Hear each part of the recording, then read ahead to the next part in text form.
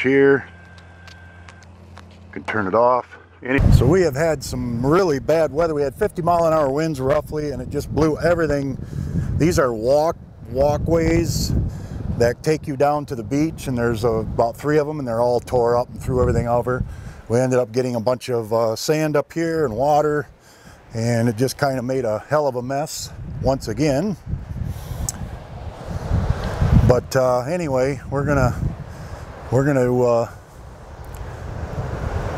get to work here, get a little bit done. But I want to uh, get a little video done for you guys and uh, on kind of living in the uh, the van uh, or living in the camper or small spaces. So we are down at the beach shack and we're going to try and get some work done here to get it ready to set up. We're starting to get some of it.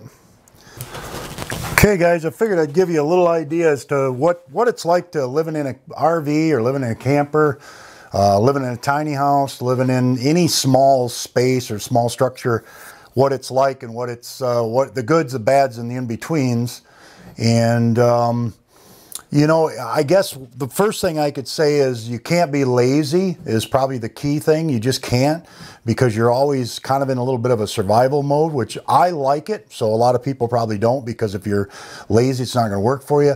And what I mean by that survival mode is, you know, you've got to get your water, you've got to get your food, you've got to get, to, you've got to cook in there, you've got to, uh, I mean, you don't have to cook in there, but if you want to, can, you know, uh, save money or whatever, that's kind of what you have to do. So um, there's just, you know, a lot of things that you've got to do. You've got to get to the bathrooms. You've got to get rid of your garbage. You got to keep your place clean. Um, you know, you've got to go get fuel. You've got to get, you know, find your spots where you're going to stay. Of course, and if you're working and stuff like I'm doing, um, it's even it's even harder. Probably the four the four things that are probably extremely important, I think, in having that small space is uh, probably number one is the shower thing. And some people, you know, some people can put a shower in their in their van or in their RV or whatever. You've got a camper, you've got a, an RV or something like that, it has a shower. Again, uh, that's really convenient because staying clean and having a nice shower really means a lot every day or every at least every other day. Now the doubt the downsides to that is, yeah, you're going to have to dump that that uh, that gray water tank, and you're going to be in limited supply of your water. You're going to have to find a place to get your water. So those are the kind of things I mean by not, you know, by you can't be lazy. You're always, you know, doing things. Kind of like being on a boat. You're always fixing stuff. You're always moving. You're always uh, doing. You're always searching for your food. Your, you know, your water and things. You know, uh, all of that stuff. Probably the second big thing, and like I said, there's a ton of things you can do about showers, and you can cover each one of these in a video, and maybe I'll do that. But probably the second thing that's extremely important, um, I think, is of course uh, the again the toilet. Now, I don't find it to be a big problem when it comes to. Um, it's easier for a man than a woman, I think, without a doubt. Um, men can use a, um, you know container and then uh, empty that you know uh, in a receptacle or whatever. Um, some people again have toilets and that, but now you're going to deal with gray you know black water tanks and all that stuff. So again, uh, you've got that problem. Um, so you know. I, where I'm at most of the time, where I park or whatever, you can always, you know, find a public bathroom and, and you can go and, and hit a public bathroom or whatever, and it works out pretty good. Um, so, you know, I'm just hitting these on a light note. Like I said, each one could be a video on this. Um, power is probably your next one. And, uh, you know, without a doubt, um, power is, uh, is huge when it comes to, you know, just having, uh, enough power to be able to charge your camera equipment, which I have, and your laptops and that. Maybe watch a movie, um, you know, um, powering maybe a couple of you know bigger devices or whatever. You can use the generator and run things that way um, you know, a couple dollars a day by doing that. You can run the solar panels on top, come down and do it that way. That's a great way to go. Just do it on a, on a small basis, 300 watts of solar with a couple of batteries and an inverter and, and uh, you know, a 1,000 watt inverter or a 2,000 watt inverter and you're good to go and you can pretty much, I think, keep up with power. Now in Michigan, it's going to be a little different because we have so many cloudy days. We have in in in my area, it's 160, 162 days 162 days of of uh, of no, you know, no sun. Uh, it's just what it is here. Um, so you kind of want to uh, account for that.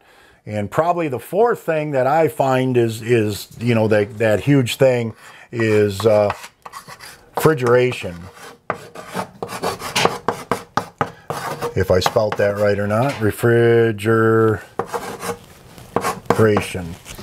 Um, you know, being able to have uh, some cold stuff, especially in a warm climate, you know, uh, being able to have, uh, you know, cold drinks, being able to have food, stuff that's perishable that you can kind of, you know, maybe a cold beer or whatever. Um, you know, ice, I think is, you know, it's okay, but I don't think you really need it. I'm um, trying to keep an eye on Bella here, and I'll show you Bella. Bella's becoming uh, extremely, uh, um, I guess, comfortable in, in finding anything to destroy, chew up or whatever. Um, but refrigeration, there's a ton of ways to go about that. Some people go like a Yeti cooler, one of them high-end coolers. Um, I don't know some of the other off brands of, of Yeti, but there's a ton of them out there that have come off of the Yeti. Um, I do believe in the Yeti products. I think they're overpriced, but I do believe in that product. And you can use a Yeti cooler and put a bag of ice in there, and you can get seven days out of that. So that is a that is an option for sure, especially in Michigan in the northern climate, because we don't get much of 80 degree weather. Not here anyway. A little bit, but very very very minimal. Um, now in a hotter climate, I think you want uh, the Dometic or uh, Whynter or um, what's the other one? Uh, big ones out there. Um, Dometic Whynter and uh, there's one other one. They're, they're all excellent. Um, they all have those uh, Ger German or European uh, compressors in them. They run off 12 volt. They use very, very, very, very little electricity. They're amazing. I, I totally believe in those products. Again, they're 600 bucks, 500 bucks. They're not cheap, but they are they are well worth it because they uh, they end up uh, lasting quite a long time and they just take very very very little power. You can generally keep those running on a couple of batteries or at least for sure uh, you know two batteries maybe three batteries at the most you can keep them rolling pretty pretty decent. And uh, you can set them. You don't need to set them at 36 degrees. You can set them at probably the highest threshold you want maybe even 38 39 degrees and they'll cycle on cycle off and do a pretty good job. I'm a big fan of the dometic three-way, which is propane, uh, AC, and uh, DC. Um, but again, you know, you're looking at a thousand bucks, and they're they're kind of built in. They're really nice because I, I, you know, you can run them on propane with a tank of propane, and you can get a couple weeks out of it without any trouble. I've done it many times in an in an RV and in a in a trailer, and uh, we'll uh, we'll give you a little view here of Bella. As I say, Bella's doing well, but um, a complete pain in the caboose but she is uh, she's doing well. She's just chewing everything up, everything. Chewed up a seat cover yesterday, not terribly. It's you know again it's my it's an old truck. I had to redo things.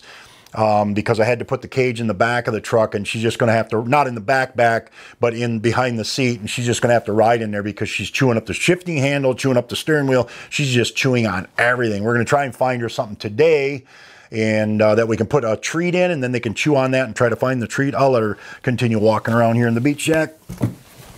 Um, but uh, yeah, she's just getting into everything, but you know, she'll get out of that stage sooner or later. But she's doing well. She'll, she'll fetch and I'll show some more videos of her. Um, I did start an Instagram account for her so you guys can follow her. I'll try to put something up every day of her uh, the best I can. Um, I'm going to get a new camera, I think, this week, um, a new phone which uh, will shoot 1080p and it's you know it's got a, it's just a better phone. I've had the other one for three years. It's all busted and cracked.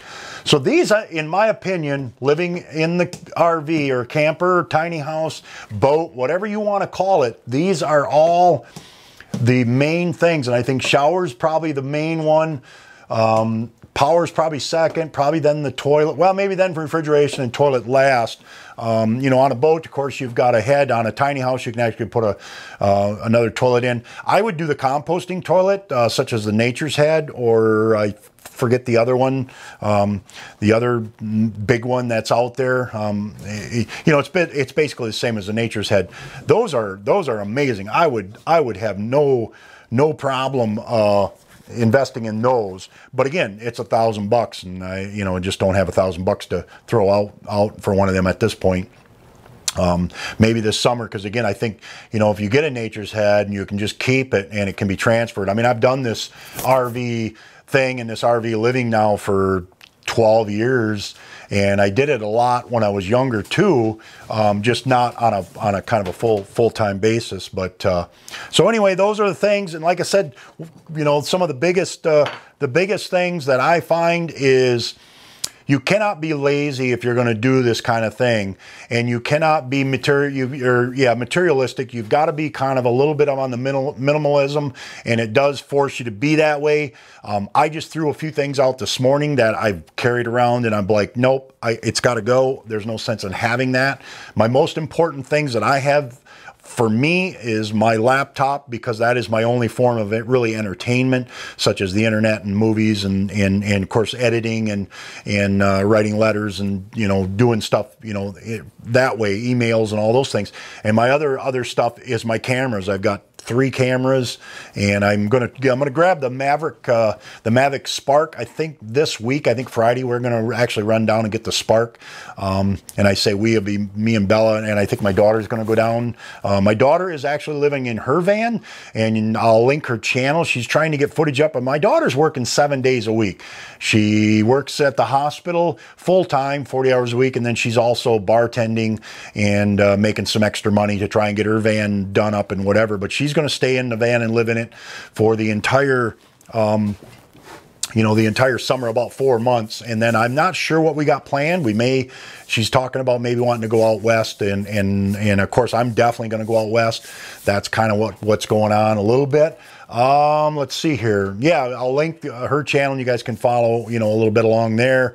Um, she's just cutting back on $900 a month rent and all that stuff with the television and the internet and all those things.